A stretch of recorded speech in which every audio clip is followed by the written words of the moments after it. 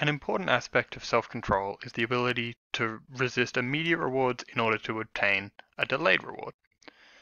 Now this definition is a little simplistic, but it does get to the heart of an important aspect of motivation.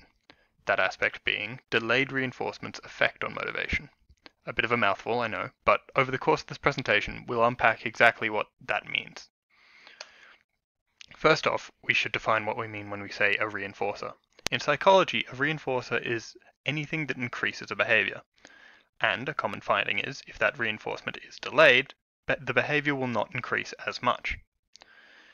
Now, another way to look at it is through the eyes of delayed gratification. And this was well illustrated in a classic experiment called the Stanford Marshmallow Experiment. In it, children were offered either a marshmallow now or two marshmallows in 15 minutes. Unsurprisingly, they usually chose the immediate reward. However, what was interesting was those that were willing to wait, to wait for the reward, in general, had better later life outcomes. They received better grades in average and, in later life, were less likely to be overweight.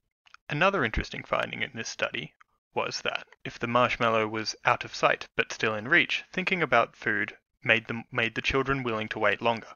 However, if the marshmallow was still in sight, thinking about food would make them wait less. This is consistent with later research, which has found that thinking about the immediate reward makes you more likely to choose it, and thinking more about the delayed reward makes you more likely to choose that. With this in mind, there are some practical methods that can be used to keep your mind focused on your delayed reward and not focused on immediate gratification.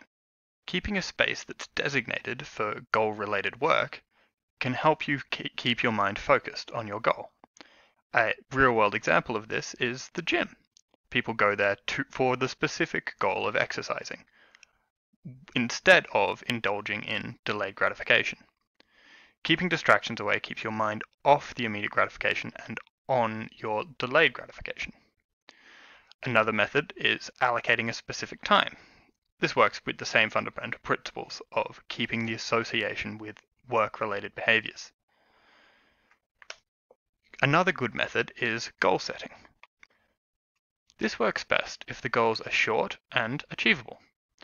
An unachievable goal is likely to be unmotivating, and a delayed goal is in essence a delayed reinforcer, which as we've seen is not highly effective. If you'd like to learn more about this aspect of motivation or another aspect of motivation and emotion, you can find in the description a link to a student organized book on both, which is free to access. The references are also in the description below.